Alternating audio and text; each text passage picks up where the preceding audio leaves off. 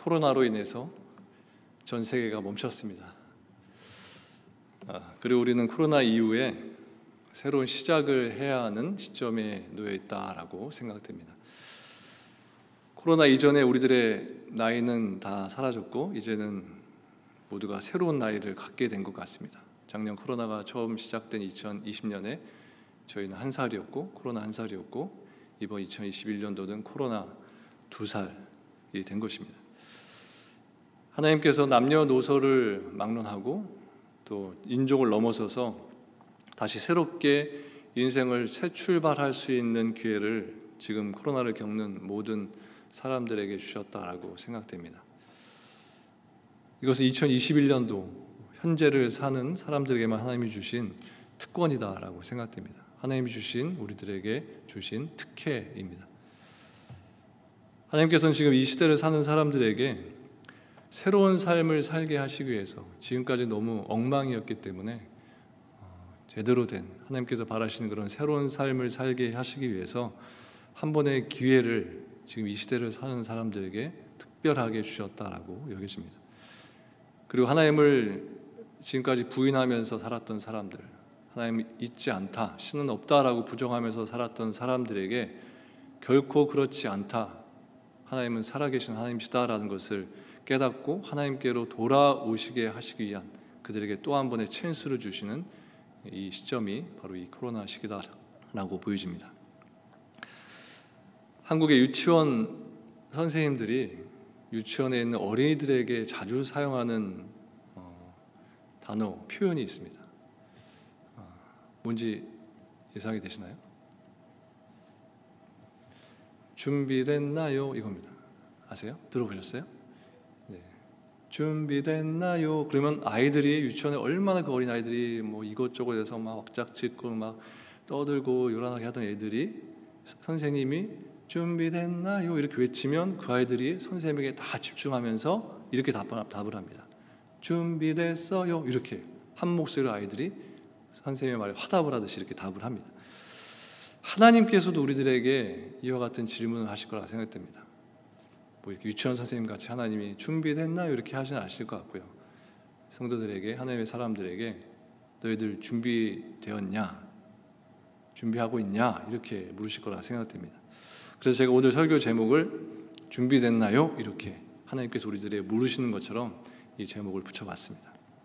하나님께서 우리들에게 너희들 준비되었냐 라고 이렇게 물으실 때 여러분들은 어떻게 답하시겠습니까? 하나님께서 코로나 이후에 다시 인생을 새롭게 살 수 있는 기회를 너희들에게 내가 주었는데 그 삶을 살 준비가 되었냐 이렇게 하나님께서 물으신다면 여러분들은 네 그럼요 그렇습니다 준비됐습니다라고 답하실 수 있겠습니까?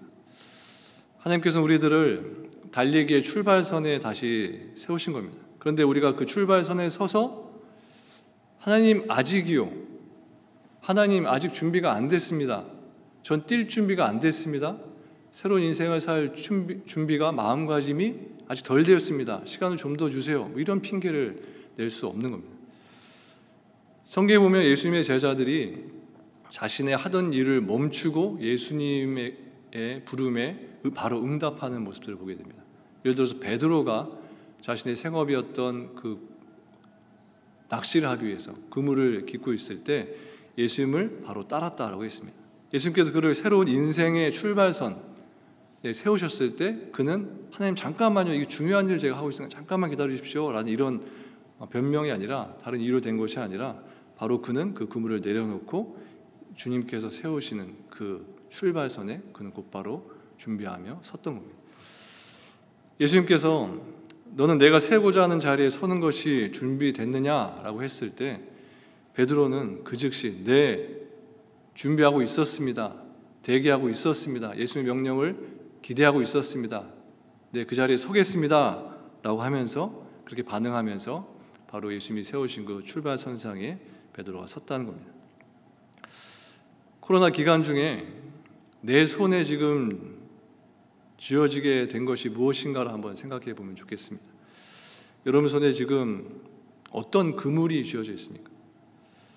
그 그물이 나를 예수님께서 불러 세우시는 그 출발 선상에 서지 못하도록 그 그물이 우리를 막고 있을 수 있습니다. 다시 새롭게 새 출발하는 그런 출발 선상에 내가 서야 되는데 그 부름에 내가 바로 응답해서 그 자리로 나아가야 되는데 내가 코로나 기간에 묶여 있었던 그 그물에 내 손과 발이 묶여 있고 내 몸이 묶여 있고 내 마음이 묶여 있어서 예수님의 순, 말씀에 순종하지 못하고 주저하고 있고 바로 반응하지 못하는 그런 그물이 우리 코로나 기간 기간에 우리들 각자에게 생겨났다는 것입니다. 제가 얼마 전 주일 설교 때 셀라라는 이 단어를 설명하면서 여러분들 삶의 순간순간에 멈춤의 시간을 가지시라 이렇게 말씀드렸습니다. 그리고 길에 있는 이 스탑 사인을 보면서 그때 그때마다 그 스탑 사인이 하나님께서 나에게 보시는 보여주시는 셀라라는 이 멈춤의 사인으로 보시면서 멈춤의 시간을 갖고 그 시간에 하나님을 바라보면서 하나님의 음성을 듣는 시간을 가지면 좋겠다라고 말씀드렸습니다. 그런데 우리를 삶의 순간순간에 세우셔서 우리와 깊은 교제를 나누시는 하나님께서는 그렇게 우리를 매 순간 멈춰 멈춰 멈춰 세우시고 세우시고 세우시는 그런 하나님만이 아니라 그 멈춤의 시간을 통해서 분명히 하나님께서 우리에게 하나님의 뜻이 나의 뜻이 무엇이다라고 우리들에게 알려주시고 깨닫게 해주시고 그 이후에는 다시 이 세상을 향해서 우리를 보내셔서 하나님의 사명을 감당할 수 있도록 우리에게 그 발걸음을 그곳에 향해서 나아가게 하신다는 것입니다. 이렇게 성도들에게는 멈춤의 시간이 필요하지만 멈춰져 우리는 멈춰져 있어서는 안 되고 반드시 멈춤의 시간 이후에는 하나님께서 원하시는 이 세상으로 나가서 하나님의 뜻을 드러내는 삶을 살아야 하는 사명이 우리 모두에게 있다는 것입니다. 그런데 어떤 성도들은 멈춤의 상태가 그들의 삶에서 계속해서 유지되고 있는 분들이 있습니다. 멈춤의 시간 이후에 하나님께서 계속해서 가 이젠 됐어 충분히 멈췄어 충분히 너는 내 뜻을 분별했어 이제는 나갈 때야 이제는 출발할 때야 사인을 주는데도 아닙니다 저는 지금 계속 멈춰 있어야 할 때입니다. 계속 하나님을 묵상하고 주님의 뜻을 분별할 때입니다. 하면서 계속 하나님의 사인을 무시하면서 또 바라보지 못하면서 계속 그 자리에만 멈춰 있는 성도들도 있다는 것입니다. 이제, 이제 캐나다에서는 대부분의 사람들이 백신을 2차 종족 접종까지 다 마쳤습니다. 그래서 정부에서도 모일 수 있는 인원을 점점 늘려가고 있기 때문에 식당들도 예전에는 밖에서만 이제 오드에서 테이크아웃만 할 수 있었지만 이제는 식당 앞에 그 패티오에서 먹을 수도 있고 또 심지어 식당 안에서까지 마스크를 벗고 음식을 먹을 수 있는 그런 시점에 와 있습니다.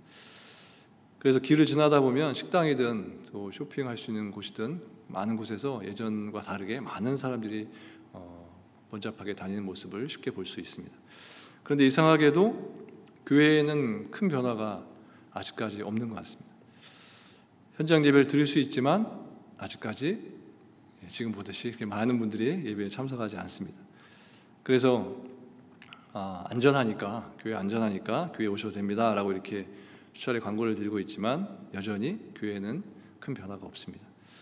저는 이 상황에서 이런 생각을 가지게 되었습니다. 우리가 코로나 전에 열심히 신앙생활 할 때에 이 전도의 중요성을 다 가지고 있습니다. 하나님이 주신 사명이기 때문에 내가 열심히 믿지 않는 사람들에게 가서 하나님의 복음을 증거하고 그분들에게 아, 교회 나갑시다. 교회 갑시다. 함께 나, 나 같이 예배 드립시다. 그렇게 신앙생활 합시다. 이렇게 하는 삶을 살기 위해서 우리가 코로나 전에 그런 어, 열심을 가지고 살았었습니다.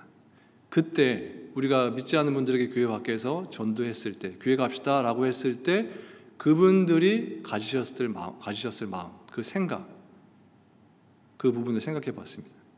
그분들이 가지셨을 이 마음과 그리고 지금 백신을 맞았기 때문에 안전하게 교회에 나올 수 있는 상황에서 성도님들 교회에 많이 나오지 않기 때문에 성도님들에게 교회에서 교회 나오셔도 됩니다라고 이렇게 광고했을 때에 성도님들이 가지시는 마음. 이 두 상황 속에서의 그 마음이 저는 비슷한 부분이 있다라고 여겨집니다.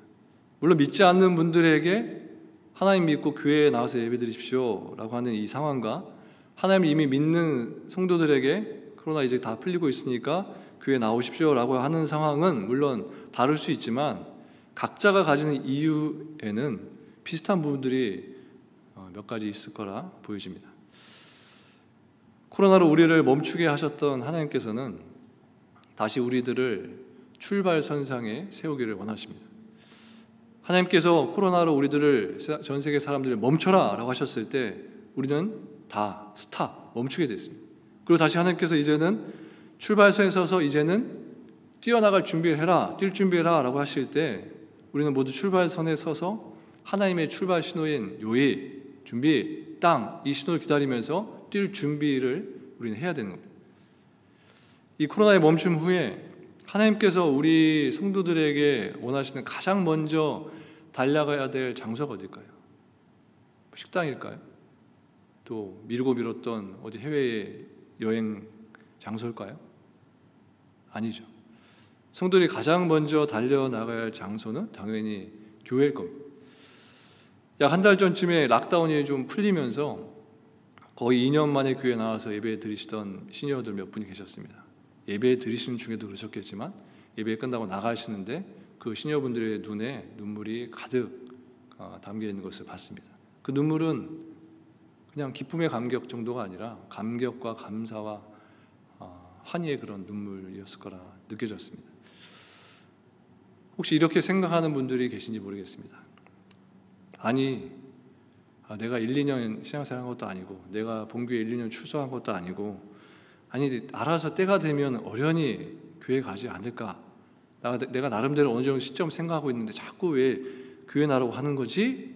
이런 마음을 혹시 가지신 분들이 계시지 않나 여기집니다.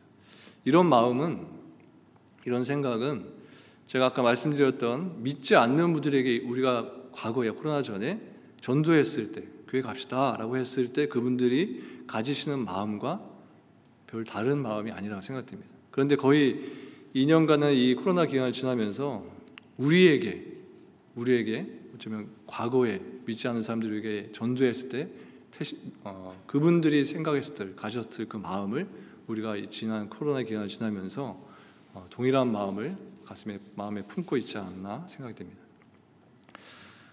바울은 오늘 본문 고린도서 5장 17절에서 이렇게 말합니다.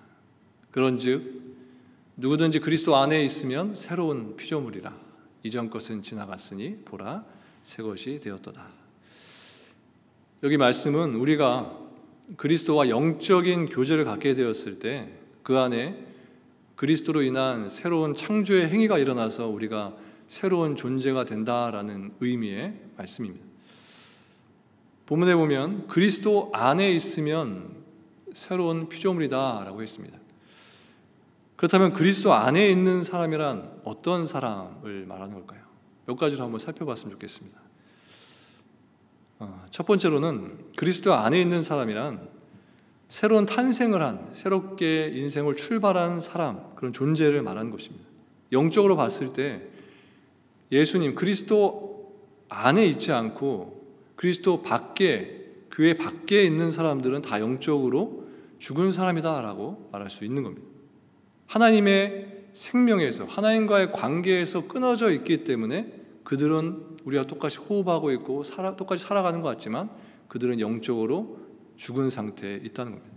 그런데 그리스도 안에 있으면 그 사람은 하나님의 생명을 공급받으며 살고 있기 때문에 그 사람은 새 생명을 가지고 새 인생을 살아가며 이 땅을 하나님이 주신 이 땅을 누리며 살게 된다는 겁니다. 두 번째로 그리스도 안에 있는 사람이란 신분이 새로워진 존재를 말하는 겁니다. 즉 죄인의 신분에서 우리의 신분이 하나님의 자녀된 신분으로 바뀌게 되었다는 겁니다. 그래서 로마서 8장 15절에 보면 이렇게 말씀합니다. 너희는 다시 무서워하는 종의 영을 받지 아니하고 양자의 영을 받았으므로 아빠 아버지라고 부르짖느니라. 이렇게 그리스도 안에 우리들이 그리스도 안에 있게 됨으로써 우리의 신분이 과거의 죄인의 신분에서 하나님의 자녀된 이런 영광스러운 신분으로 변하게 되었다는 것입니다. 세 번째로는 그리스도 안에 있는 사람이란 새로운 운명을 지닌 존재가 되었다는 것을 말하는 겁니다. 즉 죄된 신분에서 심판을 받은 운명에 있었지만 이제는 새로운 사람이 되어서 영생을 누릴 그런 영생을 얻을 그런 운명으로 바뀌게 되었다는 것을 말합니다. 요한복음 5장 24절에 이렇게 말씀합니다. 내 말을 듣고 또 나 보내신 이를 믿는 자는 영생을 얻었고 심판에 이르지 않았냐니 사망에서 생명으로 옮겼느니라. 여러분 이렇듯 그리스도 안에 있는 성도들은 그리스도 밖에 있을 때와는 전혀 다른 전혀 다른 새로운 존재, 새로운 피조물이 되었기 때문에 우리는 이 사실을 기억하면서 새로운 피조물, 하나님께서 빚으신 새로운 피조물의 모습과 같이 그런 걸맞는 삶을 우리들이 살아야 하는 겁니다. 바울은 에베소 4장 22절에서 24절에 이렇게 말합니다. 너희는 유혹의 욕심을 따라 썩어져가는 구습을 따르는 옛 사람을 벗어버리고 오직 너희의 심령을 새롭게 되어 하나님을 따라 의와 진리의 거룩함으로 지으심을 받은 새 사람을 입으라. 우리가 그냥 말로 입으로 새로운 피조물이다 이렇게 말한다고 다 한다고 해서 우리가 새로운 사람, 새로운 피조물이 되는 것이 아니라 진정으로 그리스도 안에 있는 사람은 그의 모습 가운데 새로운 피조물로서의 모습이 그 삶의 그 사람의 삶의 모습에 자연스럽게 드러나게 되는 겁니다. 그리스도 안에 있는 사람은 그리스도를 믿기 이전의 옛 모습에 옛 사람의 모습을 완전히 버리고 주님과 함께 그렇게 새로운 인생을 살아가는 사람을 뜻한다는 것입니다.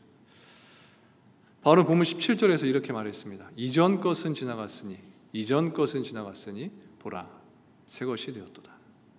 저는 이번에 이 말씀을 준비하면서 27, 17절 말씀이 지금 이 시기 가운데 저에게 이렇게 들려졌습니다. 코로나 이전의 과거는 지나갔다. 자, 이제 인생의 새로운 출발을 해라. 코로나 이전의 과거 하나님께서 말씀하시는 겁니다. 내가 깨끗이 지웠다. 과거는 깨끗이 지웠다. 잊어라. 그러니 새 출발을 하라. 이렇게 말씀하시는 것처럼 들려졌습니다. 지금까지 우리의 신앙생활은 음, old style이었던 겁니다. 과거에 묶여서 내 자신이 기준이 돼서 내 기준에 맞춰서 내 스스로를 판단하고 때로, 는 어, 예상으로 굉장히 좋은 모습을 보이면 스스로를 칭찬하면서 격려하면서 스스로에게 박수치면서 그렇게 지금까지 신앙생활을 했던 겁니다. 그러면서 우리는 교만해지게 되었고 또 이 코로나 시기를 보내면서 우리는 나태해지기까지 하게 된 겁니다. 그리고 우리들에게 하나님은 과거의 모습을 벗게 해주시고 새롭게 시작할 수 있는 기회를 주신 겁니다. 교만과 나태함 같은 그런 old style, 과거의 모습에서 벗어나서 new style로 새로운 인생을 시작할 수 있도록 새로운 신앙생활을 시작할 수 있도록 우리에게 새 기회를 주셨다 하는 것입니다. 에리 프롬 프롬이라는 사람은 이런 말을 했습니다. 사람이 인생에서 이루어야 할 주요 과제는 자기 자신을 다시 태어나게 하는 것이다. 우리는 이번 코로나를 지나면서 완전히 완전히 새롭게 태어난 겁니다. 제가 설교 초반에 말씀드린 대로 작년에 우리는 코로나를 겪으면서 작년에 우리는 코로나 한 살을 보냈고 이번에 코로나 두 살을 맞이하게 된 겁니다. 새로운 인생을 시작하게 된 겁니다. 그래서 2021년을 사는 지금 우리들에게는 나이를 넘어서서 코로나 두 살 다 친구들로서 새로운 인생을 출발하는 그런 시점에 출발선에 다 같이 서 있는 바로, 바로 우리들인 것입니다. 컴퓨터나 또 셀폰, 여러분들이 가진 셀폰에는 리셋이라는 기능이 다 있습니다. 컴퓨터가 오류를 일으키거나 문제가 발생하게 되면 어, 그 컴퓨터의 초기화 상태로 처음 상태로 정상적인 상태로 되돌리기 위해서 어, 누르는 버튼, 설정하는 버튼이 바로 리셋 버튼입니다. 하나님께서는 이번 코로나를 통해서 우리들의 삶을 리셋 리세팅할 수 있는 기회를 주셨다라고 생각됩니다. 세상 사람들이 하나님의 그 창조의 목적대로 하나님의 바람대로 살지 않기 때문에 그러면서도 죄를 지면서도 죄를 죄로 알지 못하고 자기 스스로 자신의 삶을 리셋하면서 살지 않기 때문에 하나님께서 모든 이 세상의 사람들의 삶에 리셋 버튼을 누르셨다라고 생각됩니다. 또 우리 성도들의 신앙의 모습에 있어서도 잘못된 모습이 많고 또 오류된 모습도 많기 때문에 우리 성도들의 삶의 리셋 버튼 또한 하나님께서 이 코로나 기간에 누르셨다라고 여겨집니다. 다시 하나님의 계획대로 하나님의 원래의 계획대로 우리 성도들이 올바른 삶을 살게 하시기 위해서 하나님께서 우리들의 리셋 버튼을 대신 눌러주신 겁니다. 우리가 드리는 매주일 과거에 이렇게 습관적으로 드렸던 예배의 모습에도 예배 안에도 리셋이 필요하기 때문에 하나님께서 예배의 리셋을 버튼을 누르신 겁니다. 우리의 가정에도 결코 온전하지 않고 말씀으로 가정이 세워있지 않기 때문에 가정의 리셋 버튼 또한 하나님께서 직접 눌러 주신 겁니다. 예전에 제가 초등학생 때 제가 초등학생 때는 국민학생 때였습니다. 국민학생 때 동네에 주산학원이 굉장히 많이 있었습니다. 지금은 주산학원 없죠. 저도 분위기에 휩쓸려 주산학원을 다닌 적이 한두 달 다닌 적이 있었습니다.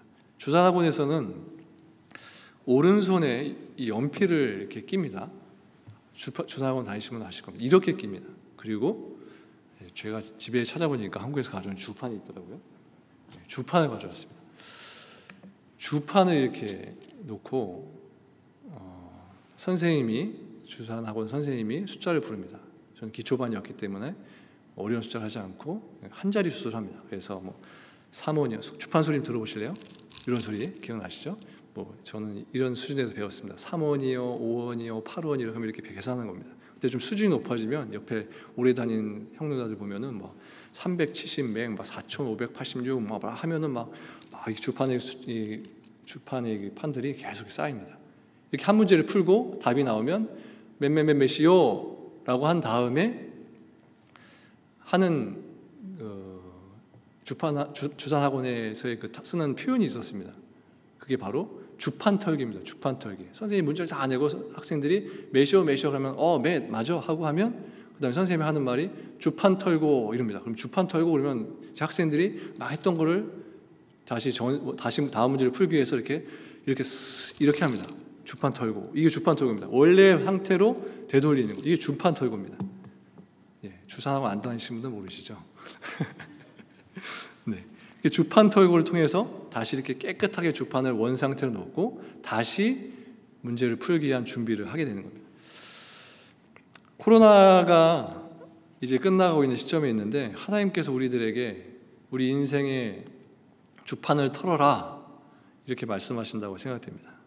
너희들 스스로 세상에서 계산하면서 셈하며 살았던 삶을 이제 멈추고 나와 이제는 나와 함께 새로운 인생을 시작할 준비를 하라라고 말씀하시는 겁니다. 너희가 나를 위한 인생을 살기 위해서는 너희들의 인생의 주판을 깨끗하게 털고 어, 그렇게 주판을 처음 모습으로 처음 상태로 놓아야 한다는 겁니다. 15절 중간부터 보면 이런 말씀이 있습니다. 다시는 그들 자신을 위하여 살지 않고 오직 그들을 대신하여 죽었다가 다시 살아나신 이를 위하여 살게 하려 함이라. 영어 표현이 이렇게 되어 있습니다. 영어 성경에 No longer live for me, but for him. 다시는 그들 자신을 위해 살지 않고 우리 주님을 위해서 살게 하시기 위해서 그 목적으로 독생자 예수님을 우리들에게 보내주셨다라는 사실입니다. 더 이상, 더 이상, 이제 더 이상 나를 위한 인생이 아니라 오직 주님의 영광을 위해서, 주님을 위한 삶을 살게 하시기 위해서 바로 우리들을 새로운 피조물로 빚어주셨다 하는 것입니다. 그렇다면 주님을 위한 사는 인생이란 어떤 삶을 말하는 것일까요? 바울은 갈라디아서 2장 20절에서 이렇게 이야기합니다. 내가 그리스도와 함께 십자가에 못 박혔나니 그런즉 이제는 내가 사는 것이 아니요 오직 내 안에 그리스도께서 사시는 것이라.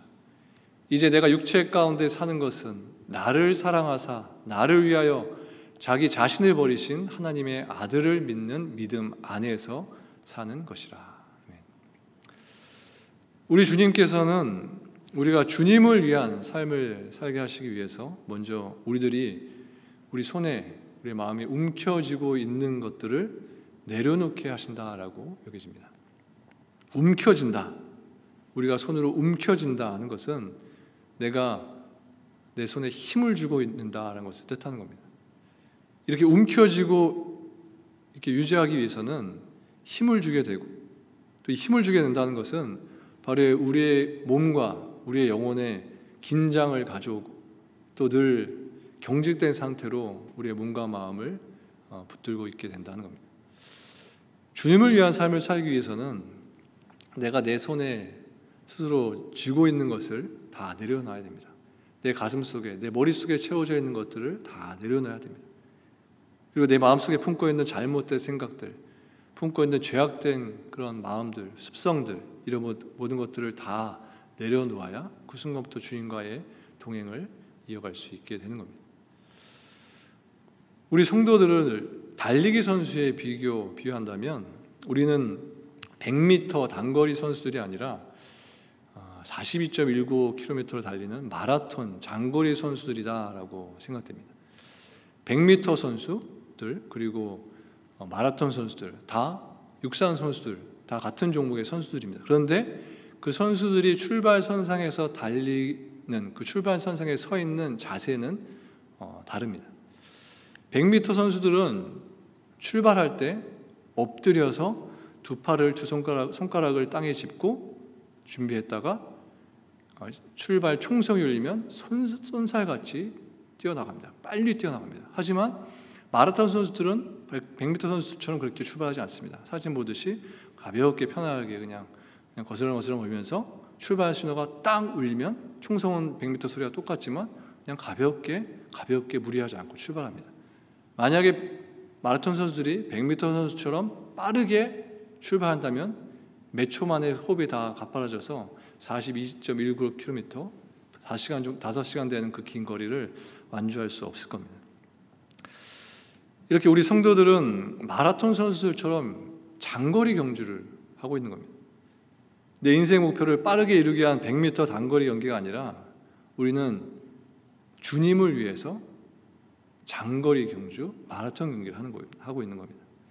말씀 생활과 기도 생활과 봉사, 섬김과 같은 모습들이 내가 과거에 교회 생활하면서 코로나 전에 많이 했었다라는 것으로 100m 달리기 10초 끝내듯이 끝이 나서는 안 되고 이러한 모습들은 계속해서 마라톤 경기 같이 계속해서 우리들에게 보여줘야 한다는 겁니다. 그렇게 신앙의 모든 면에 있어서 중단 없이 끝나는 것 없이 신앙의 경주를 우리가 호흡, 이다 되는 그 날까지 계속해서 그 경주를 해 나가야 하는 겁니다. 그래서 하나님은 이번 코로나를 통해서 우리들에게 이런 깨우침을 주시는 것 같습니다.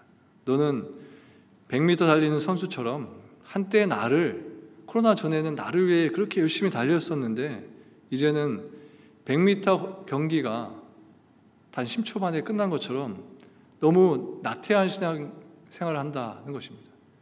이미 인생 경주가 100m 경주처럼 다 끝난 것처럼 이미 완주한 것처럼 너희 너무 나태한 신앙 생활을 한다라고 우리들에게 가르침을 주시는 것 같습니다. 우리는 내 나름대로 하나님을 위해서 열심히 달렸고 준비했고 출발했고 결승전까지 100m 달리기를 잘 달렸다고 생각하면서 이제는 난 끝났다. 내 경주는 끝났다라고 하면서 나는 이제 호흡을 가다듬면서 나는 푹 쉬면서 다른 뛰는 사람들을 단지 응원하고 격려하고 하는 그 자리에만 서 있는 우리들의 모습이 있다는 겁니다. 우리는 지금도 마라톤 경기를 하고 있는 겁니다.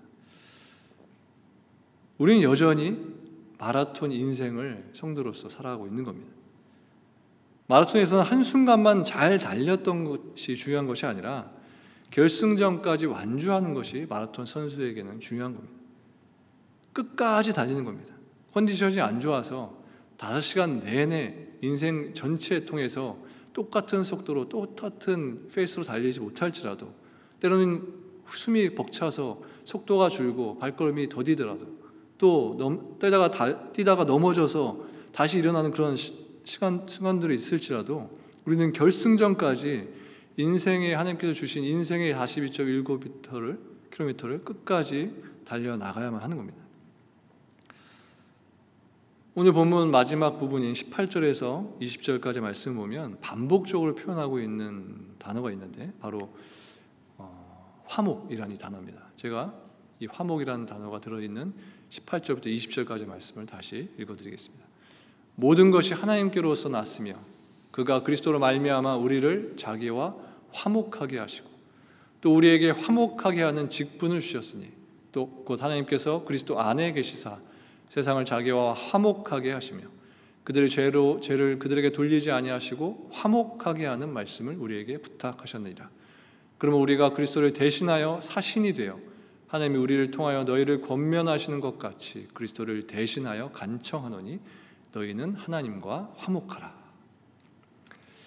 20절에 보면 바울은 그리스도의 사신, 그리스도의 사신으로서 고린도 교인들에게 너희들은 하나님과 화목한 관계를 가져야 한다. 화목, 가, 화목 가운데 있어야 된다라고 고린도 성도들에게 권면을 하고 있습니다. 사도 바울은 위대한 그리스도의 사신이었습니다. 그는, 그는 본래 세상적으로 볼 때에는 좋은 가문에서 태어났고 또 높은 수준의 교육을 받았고 또 유대 사회에서 장래가 촉망되는 사람이었습니다.